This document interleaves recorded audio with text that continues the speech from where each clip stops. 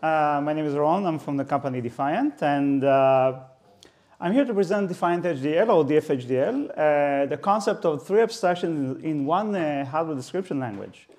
Uh, but also, when I uh, pre prepared this presentation, I understood that many of the concepts may not be so obvious. So I expanded the talk and tried to fit everything within 15 minutes and starting with the ABCs of HDL, and the ABCs is not, uh, well, this doesn't work. Uh, the ABCs are not uh, HDNL. No, it's uh, something different.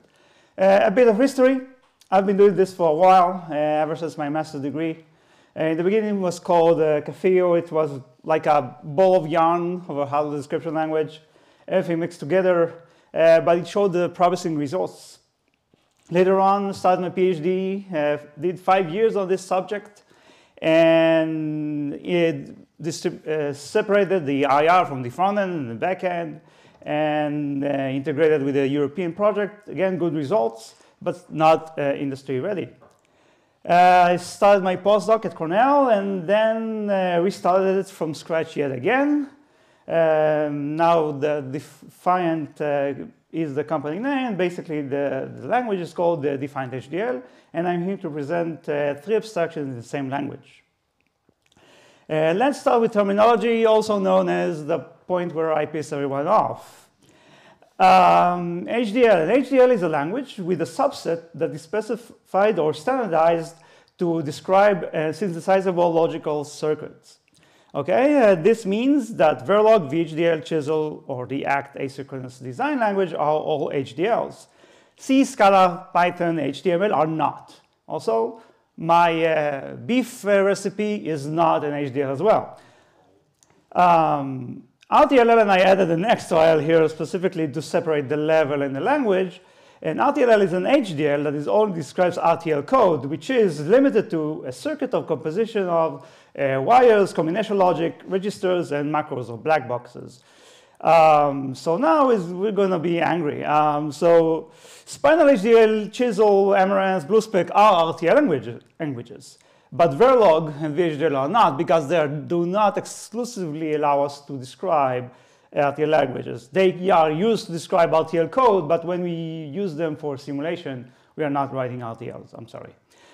Um, Domain-specific languages, you hear DSLs. So a DSL, DSL um, in generally, you take uh, one language, it's hosting a specific API for a specific purpose. Uh, in the context of an HDL, uh, an HDL uh, domain-specific language is used to construct uh, hardware in some semantic or another. So Spinal HDL, Chisel, and Amaranth, yet again, they are um, DSL.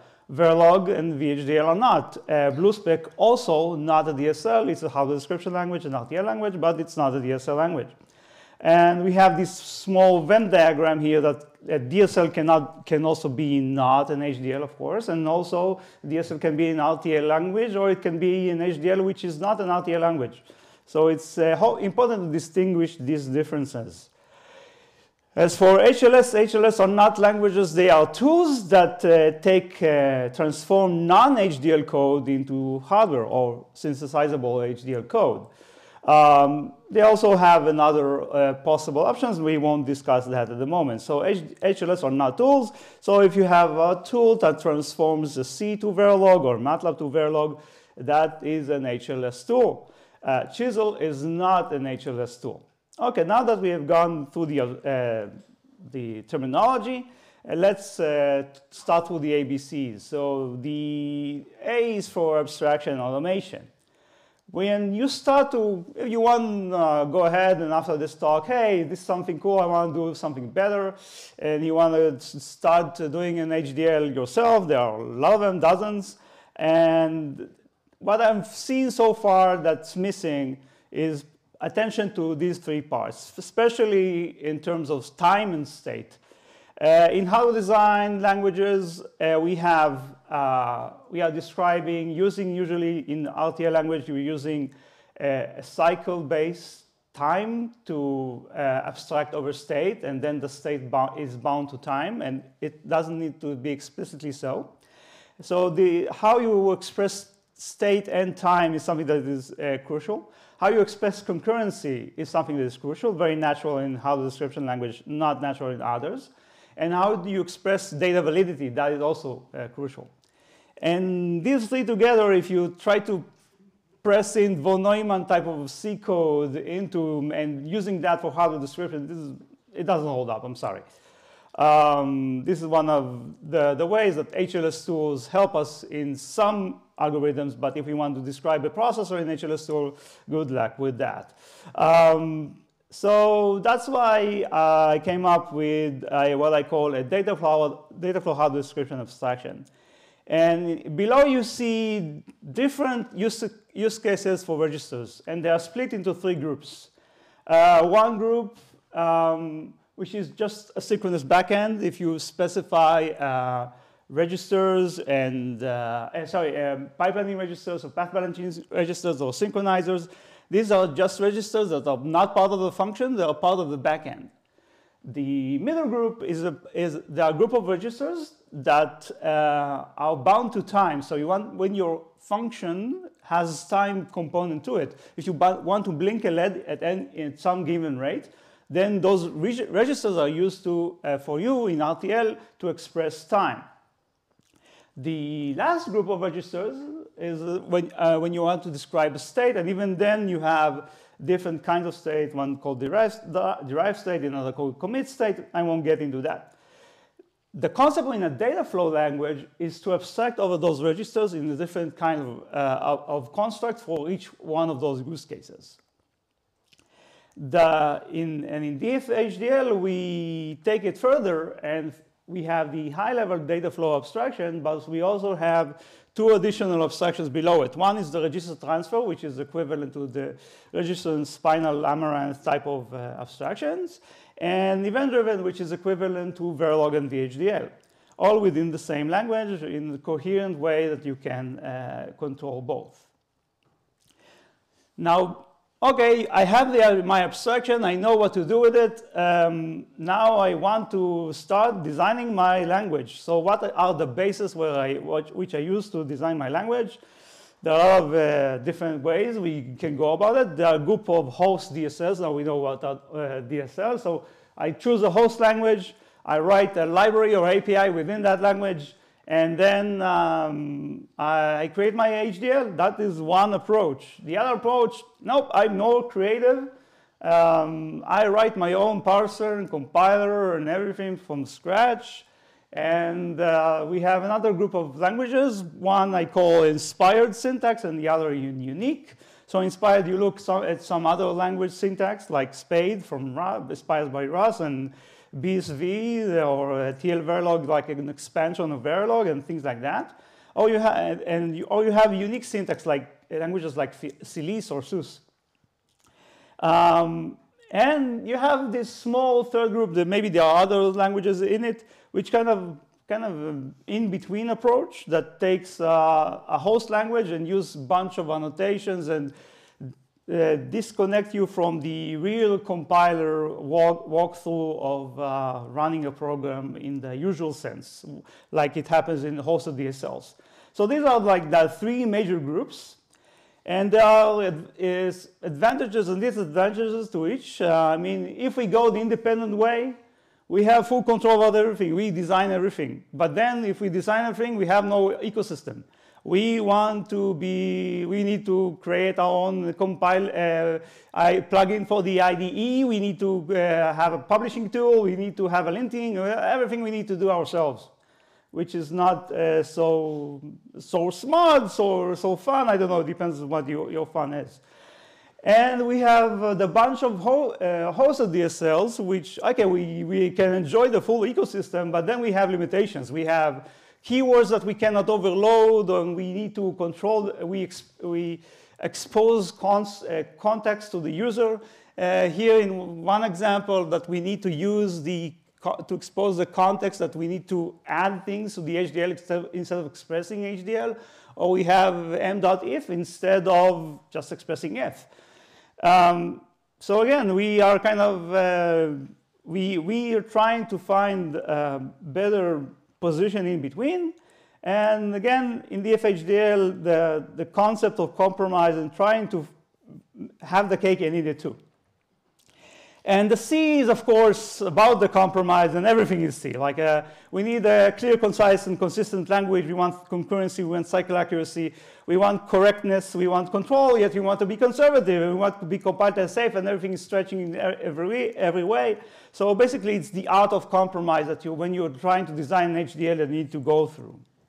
So let's see some code, but not C code. Uh, right now, we will uh, have this um, um, demo for the uh, live demo of uh, an OAuth design module. And this design will calculate how much knowledge was ob obtained by an OAuth participant, okay? So this is basically what you start. You import DFiant HDL and you write uh, the, the class ORConf extends, in this case, df design, which is a data flow design. Um, if I start with RT design, RT is a register transfer uh, abstraction. If I start with ED, it's event-driven event abstraction. Okay, currently nothing really happens because I've done nothing. If I annotate the design with top, then immediately I'm able to run something. What does it do? So uh, as you will see, it already compiles the design, commits the design to, to disk space, and does several things. It also says, okay, no command line given using defaults and so, so, so. Uh, so let's see what happens. Um, let's specify um, the, the help and see uh, what, what it gives us. So uh, welcome to DFiant HDL gives you the version which is a local uh, snapshot version and design name ORConf, and then it gives us a bunch of things that we can do. So already now, because we annotated the, the, the, the class top, we have uh, loads of options that we can just use.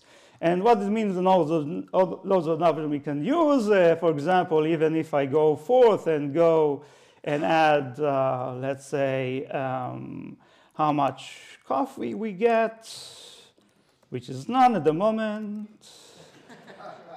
so at the moment we start with zero coffee. Um, and if I uh, started off with that, and, uh, and then run the, the help yet again. In the beginning, we see that uh, design arguments, we have coffee, which is an integer, and currently we have zero of it. Um, sorry. And, uh, and I'm keeping you from it. Um, so this is uh, the basic thing. So when you create a design, you can basically use this stop and release it to other people, and they can use it to compile and, and generate they can use it, also use it for publishing. I mean, in Scala, Scala CLI now is a publishing tool. Basically, in one line of command, this ORConf module, you can publish it and others can download it, depend on it, and just use it. We talked about uh, uh, things like uh, FuseSoC. This is built in because this is Scala. Okay, let's do something a little bit more, uh, a little bit uh, more uh, complicated. Um, so I'll just use a wait statement here, uh, which, uh, which will continuously run uh, the code um, whenever I, I make a change. Uh, now let's see what is going on. So at the beginning, let's uh, do something uh, nice and add inputs and outputs. So right now I have my knowledge in, uh, which is, I don't have a lot of knowledge, let's, 8 bits is enough. So uh, uh, this is in, I have my knowledge out.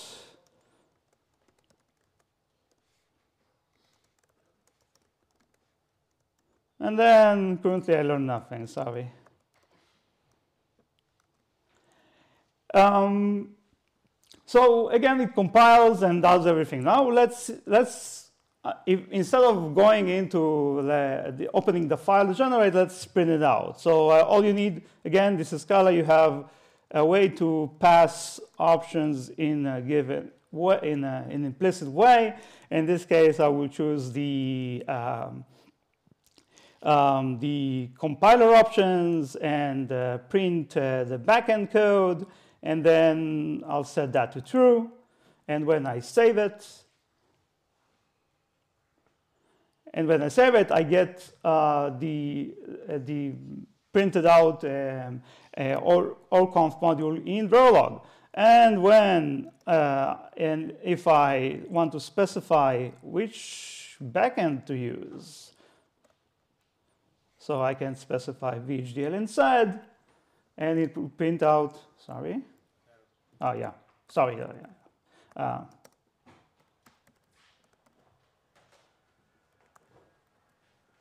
course.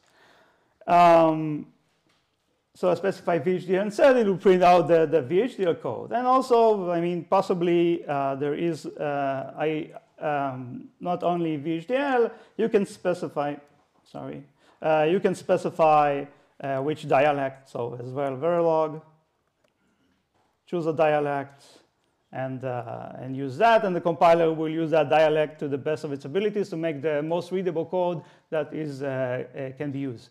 So right now, uh, this is, I still obtain some knowledge. Um, so um, I started with some initial knowledge, which is zero. I know, knew nothing, but now after a day of lectures, I have the, the previous value uh, plus, uh, I know, five bits, five values of knowledge, and then I can um, uh, see the generated code.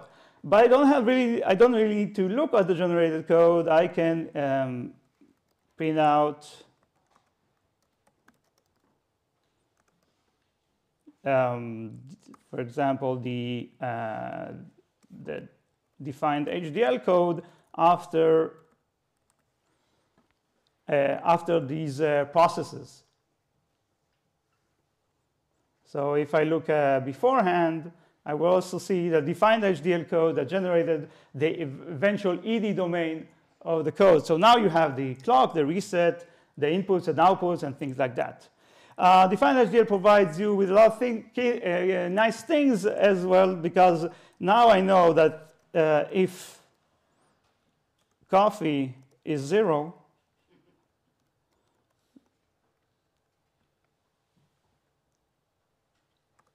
then I learn nothing.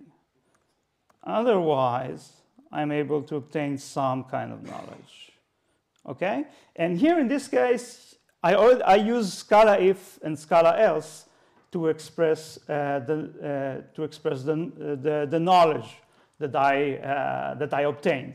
Okay, this you have Scala if and Scala else, and, uh, and, and the compiler did whatever it needed to do. But okay, the, the, let's say uh, the compiler did crazy, crazy, crazy stuff, and you want to be able to um, uh, understand what is going on because again, I'm saying this is not an HLS, but you still want to know um, what are the steps that it went through.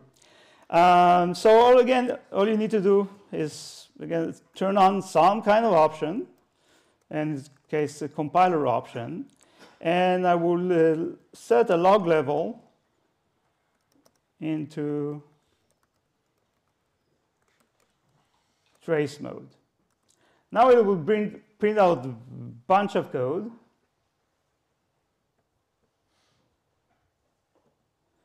But then, and then I will increase this because now it's the, and uh, sorry.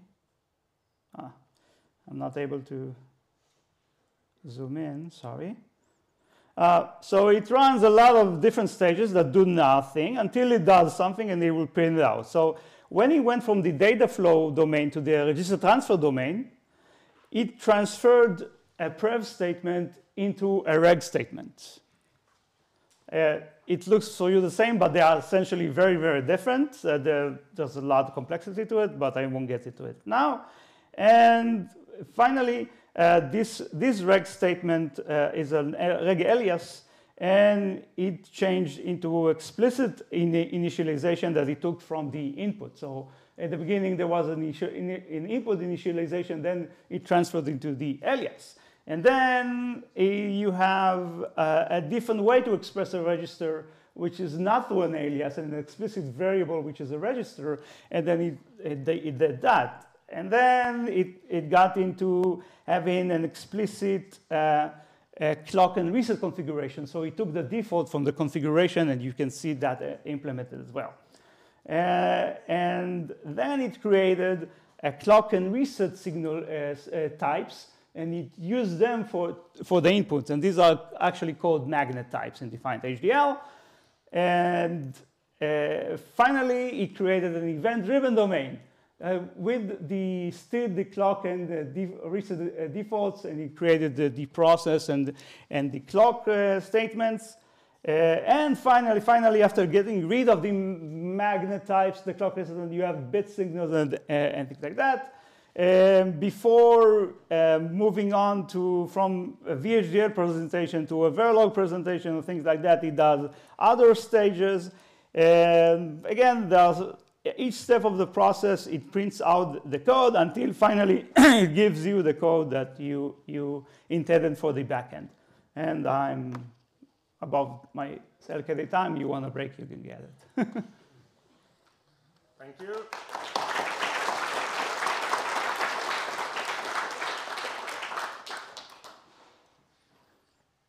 Yeah, I think we go without this, but any questions?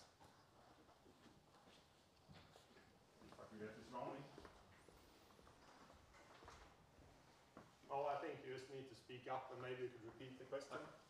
Um, so a few years ago, at XKCD observed this sort of thing of um, lots of people, you know, see a standard and go, that's not quite what I want, so I'll, I'll, I'll create another standard. We seem to be kind of doing this with HDLs. But there seems to be this core problem that none of the vendors have looked at adopting these. So we still have to go Verilog. So on a commercial process, I still have to verify my Verilog. That doubles my verification effort, possibly. So do you, do you have a solution to that? Do you have sort of formal proofs that your transforms are always correct?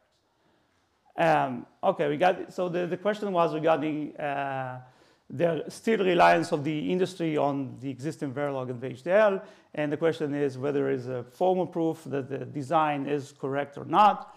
Um, regarding formal proof, it depends on what level of design, what, what is the transformation. Uh, not, um, we can, if you, can, we can, it's a lengthy discussion about formal proof, but data flow gives you, uh, static data flow especially gives you uh, guarantees uh, that you know the transformation uh, before and transformation after, and you can use those guarantees for formal correctness. Um, but uh, as far as the reliance on the uh, on Verilog, you can I look at them as like an assembly in a sense for for industry. The Intel and, uh, AMD don't need to uh, move on with the assembly standard, it can remain as is, and you still have loads of software languages that eventually compile into assembly, and they can and they develop processors for that assembly. Essentially, I see potential for hardware description languages to continue on in this path. Thank you. Any other questions? Could this have been uh, an extension to Chisel? Um, maybe I'm not on this. First of all, there are a lot of things behind the scenes that uh, Chisel doesn't do. You can theoretically do that. First, you need to extend like the lower level of abstraction. So currently, their lower level of abstraction is still a register transfer level of abstraction. And then you can extend it, uh, and then you can extend it up. But essentially, extending Chisel is, breaking, is basically breaking the entire syntax and using this one. Uh, so, possible. So, in the description it says that DFiant has the event-driven model as well. Does that mean you get uh, transparent latches, SR latches, Muller-C elements as well? so, how far you want to go? Uh, so the so the event-driven, the goal is to basically allow you everything that you're doing in Verilog, which is sane, the sane parts of Verilog or VHDL, to write that in event-driven. And if you look at the code, if I write, uh, look at, at, the event-driven code that is uh, at the end, for example, here you have a process which is uh, like an always block in, in, in, in Verilog. And uh, you can have that combinational process or can have that sequential process. And everything is, uh, is like you expect. You have the full control and you have um, uh, a blocking assignment, non-blocking assignments. In the register transfer and in the data flow abstraction, all assignments are, are always blocking assignments, and there are guarantees that they, you do, cannot create latches. Uh, in here, in when you're writing event-driven uh, um, uh, dialect, you chose to use that level of abstraction, and you can theoretically create a latch. Up to you. Okay, yeah, good. For low power design, you want. Yeah, yeah, I understand. So that's why the three abstractions is important. You look at, need to look at the entire use case uh, and how you can uh, use that, but you don't want so you but you don't want to give away too much power with, for everything. So you want the user to be able to say, this is my context. I'm writing a data flow, I'm writing register transfer, or I'm writing event-driven abstraction, and using the same constructs within each context is helping a lot. Thank you. Thank you.